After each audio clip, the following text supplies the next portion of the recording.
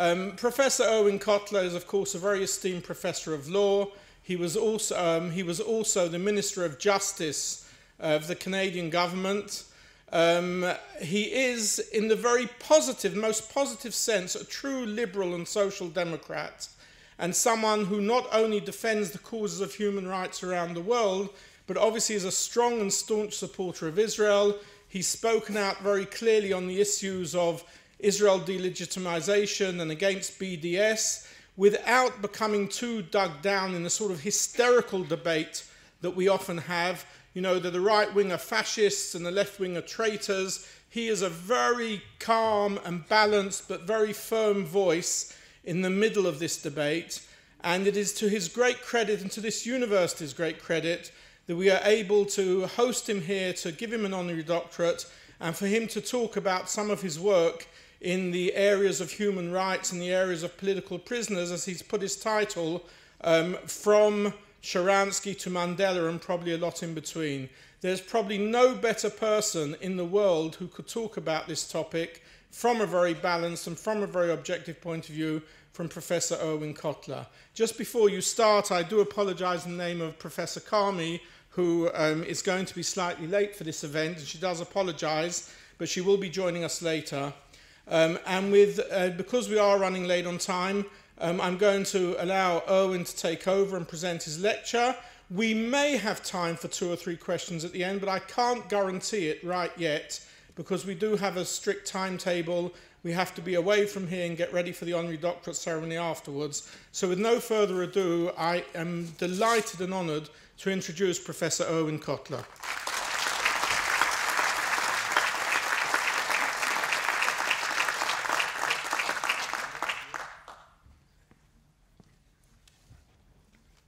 David, thank you for those kind words of introduction.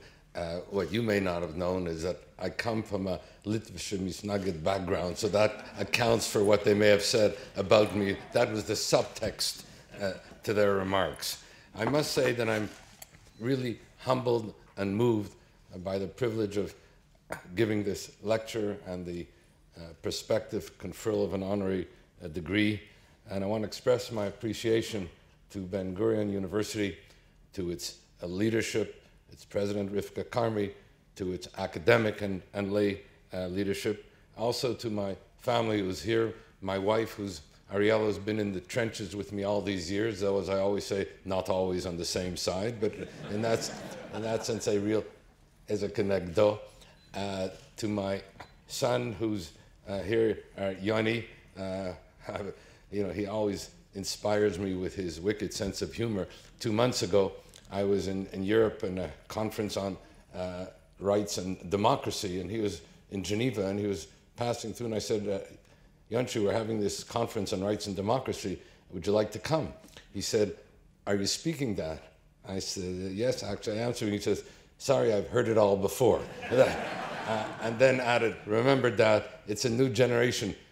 You can't use your 10 points. Two points, and we're out of there. Not listening anymore. So thank you, Yoni, for your healthy admonitions over the year. My daughter, who will soon be arriving with my uh, grandchildren, uh, my friends, and uh, who are here, and, and I just, if you'll pardon me, just I just may single out uh, several of them. If I will single all others out, I may never get to the remarks. But uh, my friend, who happens to be my cousin, we were bonded from birth. Robert Ellman, who headed up the Canadian Friends of Ben Gurion University as its chair. My closest friend Gordon Echenberg, who as well came from uh, Canada here, who also amongst the leadership of, among other things, of the Canadian Friends of Ben Gurion University. And of course, those who've been mentioned, uh, Moray, Rabotai, my friends, my mentors, uh, Elika and Aaron uh, Barak.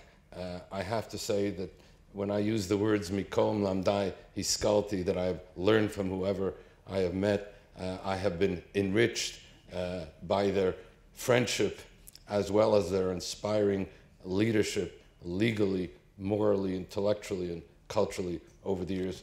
Thank you for being with us today as well. Uh, David, I want to say that in your introduction, only one thing was uh, left out, but it's the one thing you didn't know. And that is, I do begin my talks by paying tribute to my first teachers. Uh, my parents, Zichronam Livracha, blessed memory. It was my father who taught me, as I say from Kin Vaison, when I was too young to appreciate the profundity of his remarks, when he said to me that tzedek tzedek tirdof, and he said it to me in Hebrew, that the pursuit of justice, as he put it, is equal to all the other commandments combined. This, as he put it, must be the Vishinamtam Levanecha. This is what you must teach unto your children. But it was my mother who, when she would hear my father saying these things, would say to me that if you want to pursue justice, you have to understand, you have to feel the injustice about you. You have to go in and about your community and beyond and feel the injustice and combat the injustice. Otherwise, the pursuit of justice remains a theoretical abstraction. And I suspect that it was because of these teachings nurtured by those who then uh, taught me in Jewish day school and high school, university, and the like. I then got involved in the two great human rights struggles of the second half of the 20th century the struggle against apartheid and the struggle for human rights in the Soviet Union, including in particular the struggle for Soviet Jewry. And got involved with the two political prisoners who became the voice, the face, the identity, the vision of those struggles Nelson Mandela in South Africa and Anatoly Sharansky in the former Soviet Union. And to appreciate the impact of liberating political uh, prisoners. And that's why we have the notion of, that, you know, pidyon shvuim, that for the freeing of political prisoners, you're allowed even to transgress the Sabbath. That Nelson Mandela endured 27 years in a South African prison and returned to preside not only over the dismantling of apartheid, but to become the president of the first democratic, egalitarian, non racial South Africa. And Anatoly Sharansky emerged to come on Aliyah to Israel to become a member of Knesset and cabinet, now the chair of the Jewish Agency. And I got involved in both of those struggles in the mid 70s. And let me begin with a moment with Anatoly uh, Sharansky. Because to people here in this country, Sharansky is known as the leader of the Refusenik movement. And as I said, who then came here on Aliyah. But I have to tell you, as someone who was tracking human rights in the Soviet Union, the former Soviet Union, in the 70s, Sharansky was known to me then as the leader of five separate movements. And it's important to understand this because then you'll understand the real nature of why, as Andrei Sakharov sometimes called the father of human rights in the former uh, Soviet Union, why he spoke of Sharansky and said that the trial of Sharansky was a trial of human rights in the former Soviet Union, that they wanted to quarantine the voice of human rights. And that's why Sharansky was tried and convicted of both the charges of treason and anti Soviet slander and agitation. Because Sharansky was amongst the leaders of the Helsinki watch groups in the former Soviet Union that gave birth to the expression Kfutzak Tanat Shanet Olam. A small group can transform the world. And it was this small group that brought about, if I can use a Marxist metaphor, the withering away of the former Soviet Union. He was a leader in the democracy movement together with Sakharov. He was a leader of the ethnic, religious, and national cultural movements. He was a leader of the other political prisoners defending other political prisoners. And finally, yes, the fifth, he was the leader of the dissident Aliyah struggle for Soviet Jewry. So, in effect, there were few people in the former Soviet Union that embodied the human rights struggle in all its configurations at the time. And so I became involved in his struggle, and I want to use both his and Nelson Mandela to number one, share with you some vignettes of that struggle, and remarkably enough, as I'll get to, how the two cases of Sharansky and Mandela actually ended up intersecting one with another. The whole is underpinned by an advocacy model for the defense of political prisoners, which I'll share with you. And then, secondly, conclude with a never again declaration that was uh, recently adopted by a group of, of jurists uh, who were participating in a historic legal symposium at Jagiellonian University in Krakow, uh, who adopted, because we use the term never again, but it keeps happening again and again and again, and it has become an idle slogan. So this group of jurists, parliamentarians and like, issued a series of undertakings for a real never again uh, declaration, and I'll share that with you, which will be done for me for the first time. So let me begin with the uh, Sharansky uh, case. In 1978, I developed a legal brief based on the first part of the model of Andrei Sakharov said the advocacy model to mobilize shame against the human rights violator and to mobilize that shame by exposing and unmasking the violations in this instance of the Soviet government of its own legal system, not uh, Canadian or American law, but its own legal system, as we did just two weeks ago when the Foreign Minister of Canada, Stéphane Dion, took with him a legal brief from me regarding the release of imprisoned Saudi Arabian blogger Raif uh, Badawi, whom I'm uh, now representing. Again, a brief based on Saudi Arabian law, on Islamic law, not on its violations of Canadian or American law. So, in our brief, we sought to document some 20 violations by the Soviet Union. The great thing about the Soviet Union at the time is that it had a magnificent constitution and it had all the rights that you would wish for. And we were able to point out how they were violating each of their own undertakings in their uh, constitution in every uh, particular, as we sought to expose not only the falsity but the absurdity of the Soviet uh, prosecution. That was in 1978. In 79, and this brings me to the second part of the model, invoke the support where you can of your own government. The Canadian government at the time arranged for me to appear before the uh, Soviet Constitutional Court. However, one day before I was to appear, which would have been unprecedented had that appearance uh, been allowed, I was arrested, detained, interrogated, and expelled from the Soviet Union. I was brought out to a at breakneck speed, which was worried me even more than the arrest, uh, to the Soviet airport, alighted onto a Japanese airliner, which was going fortunately to London and not to the Far East, to the surprise of the Japanese attendants to whom I said, I'm, when they asked me for my boarding pass, I said, I'm sorry I'm being boarded in rather unusual circumstances by the KGB. But I said to them, I'd like you to do two things. Uh, if you can call the Canadian embassy, tell them I'm being expelled, and if you can contact uh, Dan Fisher, Moscow correspondent for Los Angeles Times, and tell him I won't be able to make it for dinner. when I arrived in London, I think the Soviets know this, you know that if you are expelled, you feel a terrible sense that you have betrayed those who uh, you've left behind a sense of, of, of, failure because they seized all my documents, all the documentary evidence, witness testimony, not only with Sharansky, but other refuseniks in the former Soviet Union. So when I uh, got to London, I, I called uh, my wife, and I was recently married, and sheepishly said to her, I said, Ariella, uh, don't tell anybody, you know, I've been expelled from the Soviet Union, I'm, I'm here in London. She said, what do you mean don't tell anybody? The story is all over the world. Dan Fisher broke the story, and nobody knew who I was, but everybody knew at that time Sharansky was an international cause celeb. And so I became, as his lawyer, the Andy Warhol, everybody can be famous uh, for 15 minutes uh, situation. But then she told me the officials of the Canadian embassy are looking for you. And what happened was because the Soviets had put out all of these false allegations that I was a spy uh, coming to uh, the Soviet Union on behalf of another spy, Anatoly Sharansky, that I was consorting with hooligans like Andrei Sakharov, etc. The Canadian government wanted to allow me the opportunity to set the record straight. So they organized a press conference for me in London.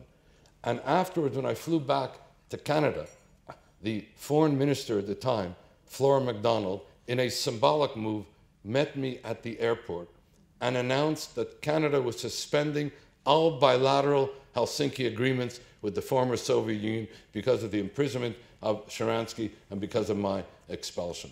It tells you that when a government will act on principle, then a government can be a, a, a, compelling part of this advocacy model. Which leads me to the third part, now the internationalization of advocacy. And here you see the help of family. Avital Sharansky became Anatoly Sharansky's effective advocate while he was uh, in, prison. A very compelling eloquent, persuasive advocate that allowed us to internationalize the case and cause for Sharansky and others. And the fourth thing was the mobilization of parliamentarians. There are other parts of this model, but I'll close with this particular shared story which sums it up. Anatoly Sharansky was released in February 1986. It was recently the 30th anniversary of his release. And I was always wondering what role did Gorbachev play in this? Because Gorbachev became president of the Soviet Union in 1985. Sharansky was released at the beginning of 1986. So I had an opportunity to be on a panel with Gorbachev some years later, and I put the question to him, you know, what role did he have, if any, in the release of Anatoly Sharansky? And he shared with me a very interesting vignette, which speaks uh, to an advocacy model in the release of political prisoners. He said, you know, uh, when I was the Secretary and Minister of Agriculture in the former Soviet Union, he said 1984, he said, you won't believe this, I never heard of Anatoly Sharansky. He may have been a household word in Canada, but in the former Soviet Union, I never heard of him. I came to Canada, he said, in 1984 to appear before the Canadian Parliamentary Committee on Agriculture. And after they asked me a few questions on agriculture, they started to ask me questions about this guy, Sharansky. I didn't know what they were talking about. He said, I left the Canadian parliamentary buildings, and outside there was this big demonstration on behalf of Anatoly Sharansky. I then was hosted by the Canadian Minister of Agriculture, Eugene Whelan, and he kept talking about this Sharansky. He said, Well, a year later, I became president of the Soviet Union, and so I asked for his file. I ordered up his file. He said, I looked at the file. He said, Yes, he was a troublemaker, but he wasn't a criminal. And then he added the crucial words. He said, And it was costing us economically, politically, our legitimacy to keep him in prison. So I ordered his release in our own national self interest.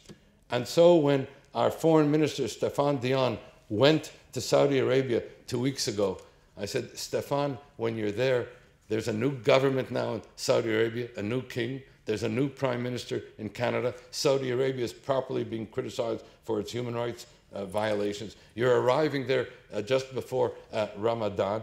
They may see it as being in their self interest to make a gesture now to release Raif Badawi to Canada, where his wife and children have refugee status. And the brief I've given you speaks in respect of their legal system. One can always speak in respect of the legal system. It's what they do with the legal system that's a problem.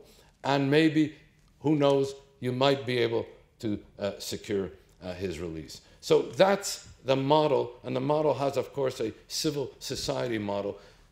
In Sharansky's case and another uh, political prisoners, the family of the political prisoner is a crucial part because, and that's Raif Badawi's wife Ensaf Haidar now becomes his face and identity externally. But it's also, we had, and there may be some people in this room at the time, a very important and formidable group called the 35s. They were women of the age of 35 at that time in London, in Ottawa, in, in different countries in the world who were advocating for Anatoly Sharansky's release, along with the student struggle for Soviet Jewry, along with academics and scientists and lawyers and the like. And when Sharansky was released and he was asked to what did he owe his release, he said, housewives and students. Housewives might have been somewhat of a politically incorrect word, women and students, and he was right about the role of a critical mass of civil society can play in working and making representations to their counterparts abroad.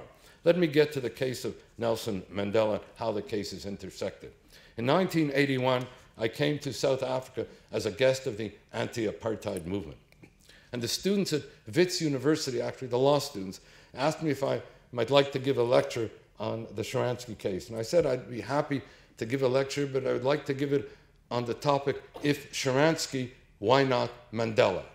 But I said Mandela at that time was a banned person in South Africa. And as I said to them, I don't want to get anybody here in trouble because if I speak on that topic, it might be somewhat problematic for the students here at the university and others. And they said, no, no, no, no problem. We'll be delighted. And so posters went up all over banners, if Sharansky, why not Mandela? And I gave uh, the lecture, and my wife, who was there, uh, would tell you I suddenly disappeared after that lecture because I got arrested in South Africa uh, for speaking on that topic.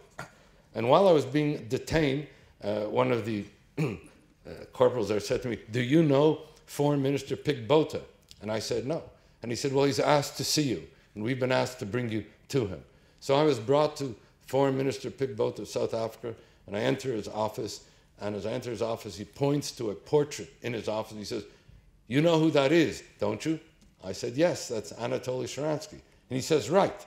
He says, I could un- not understand why somebody like you, who could defend this great hero, Anatoly Sharansky, against our enemy, the communist Soviet Union, can speak in the same breath about Nelson Mandela, who's also a communist and is also our enemy, and went on in this vein. I said, Well, Mr. Minister, I have to tell you, both Sharansky and Mandela are fighting for the same thing. They're both fighting for freedom. They're both fighting for democracy. They're both fighting for human rights. He then went on and gave me a, a long lecture on why South African apartheid was really an exercise in democratic pluralism. And I said at the end to him, I said, Mr. Botha, I have to tell you, I know that the Soviet Union is a major human rights violator. But I have to say that South Africa is the only post World War II country that has institutionalized racism as a matter of law. I said apartheid is not just a racist philosophy, though that would be bad enough. It's a racist legal regime. And for so long as it will be necessary, from wherever I am, I will fight against this racist legal regime until it is dismantled. And then he uh, said to me, You know, you are a very brash young man. Maybe I should have let them keep you in that cell or expel you. And then he looks at the portrait and he says, But because of that hero that you defended, Anatoly Sharansky, he said, I'm going to let you go free. You go in and about this country for the next 10 days and you come back and you tell me if apartheid is not an exercise in democratic pluralism. So I went about the country, came back, and I met with him and he said, So, young man, what do you have to say? I said, uh, Well, you're right. I said, Apartheid is an exercise in democratic pluralism. He said, You see, I told you. I said, If you're white, if you're black or colored, it's even worse than I thought. Well, fast forward uh, to several years ago, I always wondered, you know, what had happened in the interim with Pik Botha. And I was back in South Africa, and I called him, and he was in a senior citizen residence, not able to receive me. But we had a long talk, and then he sent me an email, and it was a remarkable message. He said, You know, I never forgot our meeting. And then he repeated, I guess, what he remembered from uh, earlier on. He said, You were a very brash young man. He says, So I followed your career since that meeting. He said, But you don't know about me. You, I'd like to tell you that I became the first South African minister in the apartheid government to call for the release of Nelson Mandela. I then became a member of the African National Congress, the anti apartheid movement, and I ended up being a minister in Nelson Mandela's government. He said, so at the end, we ended up on the same side. And it was a rather remarkable exchange. And as I said when I began, that Pidyon Shvuim is really a remarkable uh, mitzvah with regard to uh, pursuing justice. Now, let me turn to the second part of my remarks, because we are meeting today really at a very important historical moment. We're meeting on the 80th anniversary of the coming into effect of the Nuremberg race laws, which became prologue and precursor to the Holocaust. And we're meeting also on the 70th anniversary of the Nuremberg trials, which became the foundation for the development of international human rights, humanitarian, and in particular, international criminal law.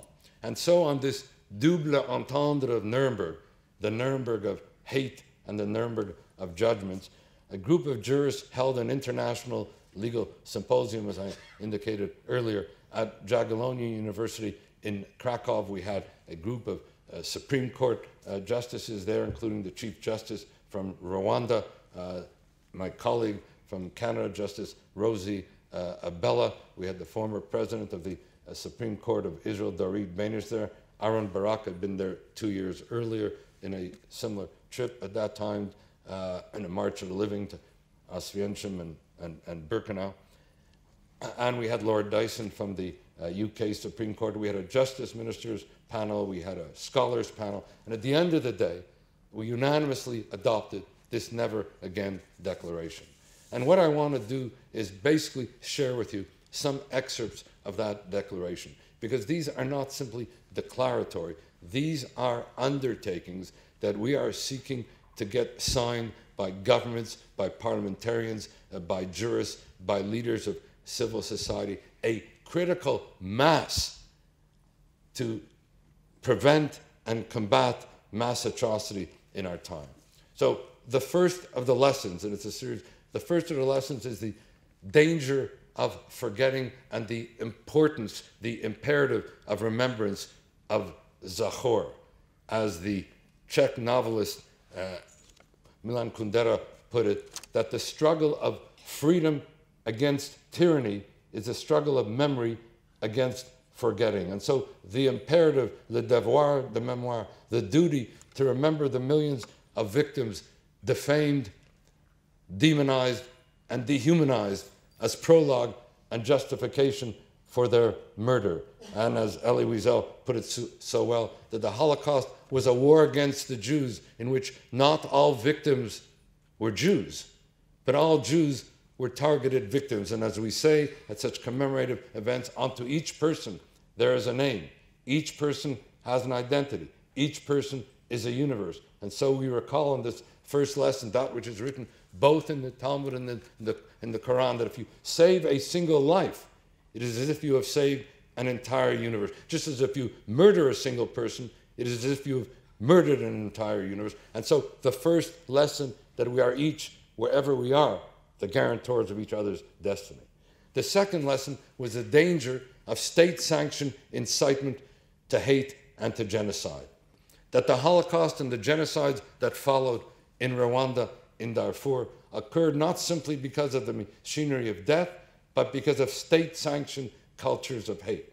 It is this teaching of contempt, this demonizing of the other, this is where it all begins. As the Supreme Court of Canada put it in one of its uh, judgments upholding the constitutionality of our anti hate legislation at the time. That the Holocaust did not begin in the gas chamber, said the court, it began with words.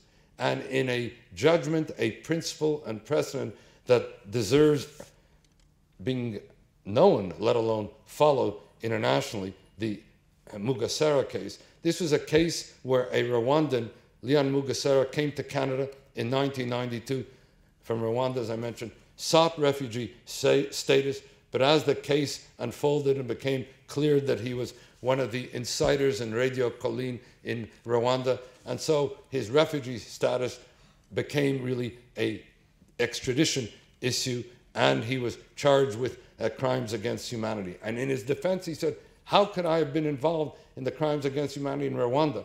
which took place in 1994. I had come to Canada in 1992. I sought refugee status here in 1992. And the court said that the very incitement to hate and genocide constitutes the crime, whether or not acts of genocide follow. A very important precedent for governments and parliaments to follow. In other words, preventing and combating incitement to hate and genocide is not a policy option, it is a legal obligation. A third, and this is a, a third lesson here, and that is the danger of anti Semitism, the responsibility to combat. You know, when we were recently, as part of this International Legal Symposium, we went on the March of the Living. And you go through certain barracks and in Auschwitz, there's a barrack which said 1.3 million people were murdered here in Auschwitz from 41 to 45. 1.1 million of them were Jews. Let there be no mistake about it. Jews were murdered at Auschwitz because of anti Semitism. But anti Semitism did not die at Auschwitz. And as we've learned only too tragically and too well that while it may begin with Jews, it doesn't end with Jews. And Jew hatred is the canary today in the mine shaft of global evil. Which brings me now to the fourth lesson and moving to a close, and that is the danger of indifference and inaction in the face of mass atrocity and genocide. You know, I was speaking earlier of Rwanda. As we are meeting, it is the 22nd anniversary of the genocide in Rwanda, where one million Rwandans, mostly Tutsis, were murdered between April 7th and the end of June 1994. What makes that genocide so unspeakable is not only the horror of the genocide, that would be bad enough. What makes it so unspeakable is that this genocide was preventable. Nobody could say we did not know. We knew, but we did not act. Just as with regard to Darfur, we knew, but we did not act. Just as now, as we meet with regard to Syria, we knew, but we did not act. And as we meet, more than 500,000 have been killed in Syria. Over 12.5 million have been displaced, and over 5 million refugees. It did not have to be this. You know, I had spent time in Arab countries over the years, including in Syria, and I always felt when the Arab Spring began that there, if there was a place that there was a possibility for some secular democratic movement, at least in Arabic terms, could emerge, it might be in Syria. Perhaps you might be surprised at that. But it was in Syria in March 2011 when a group of young people in Dara, south of Damascus, were walking around with olive branches saying, Peace, peace. They were disappeared by the Assad regime. Those who came to support them were gunned down. And then began the scorched earth policy of Assad's criminal regime. At the end of that year, there were quote unquote only 7,000 dead, quote unquote, only 50,000 that had been displaced. But those of us involved at the time said, inspired also and anchored in the responsibility to protect doctrine, which says that if in any country there are war crimes and crimes against humanity being committed, and God forbid, genocide, and the country in which they are being committed, the government is unable or unwilling to do anything about it, or as in the case of Syria, is the author of those crimes, then, as this doctrine unanimously adopted by the UN Security Council in 2005 said, there is a responsibility to intervene and protect those civilians. Well, when we called for intervention in Syria at the time, we were told, you know, if you intervene, this will lead to sectarian warfare, this will lead to civil war, this will lead to jihadists coming in. Everything we were told would happen if we intervened happened because we didn't intervene and indifference and inaction in the face of mass atrocity and genocide is much worse than acting and implementing the responsibility to protect doctrine. A fifth lesson is the importance, the dangers of cultures of impunity, and the importance of bringing war criminals to justice. If the 20th century was the age of atrocity, it was also the age of impunity. Few of the war criminals were brought to justice. And every time war criminals are not brought to justice, this only emboldens and encourages the next set of war criminals. And so, here too, whether we speak of the Nazi war criminals or whether we speak of the war criminals in the killing fields of today, the imperative is to bring them to justice. There are other lessons, but I don't want to go through them uh, singly, other to just for telegraphic, in a telegraphic, just to list them. There are things such as the dangers of la trahison des clercs, the betrayal by the elites. Let there be no mistake about it. The Nuremberg crimes were the crimes of the Nuremberg elites. Doctors, lawyers, judges, engineers, architects, educators, church leaders, and the like. As Elie Wiesel put, put it so well, that with the Nazi elites, they were able to both listen to music and kill children at the same time. And the imperative from then to now to Assad's criminal regime and to bring these war criminals to justice. Then we have the question of the vulnerability of the powerless and the powerlessness of the vulnerable. The test of a just society is how that just society treats the most vulnerable amongst it. It's refugees, it's immigrants, it's elderly, it's sick, it's poor, it's violated women, it's battered children. You know, my daughter, when she was 15 years of age, she's now 35, she taught me one of the more profound lessons with regard to human rights when she said to me, Daddy, if you want to know what the real test of human rights is all about, always ask yourself at any time, in any situation, in any part of the world, is it good for children? Is what is happening good for children? That's the real test of human rights, Daddy. I might add parenthetically that she said, uh, You're being gone all the time on these cases and causes is not good for your children. But, but happily, she and my other uh, children got involved in the uh, cases and causes. And that, for me, uh, I think helps to validate their importance, midor ledor, from generation to generation. So let me conclude by saying, and this is how we conclude our never again uh, declaration.